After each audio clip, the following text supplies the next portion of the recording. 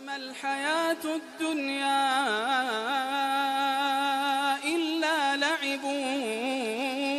وله وللدار الآخرة خير للذين يتقون أفلا تعقلون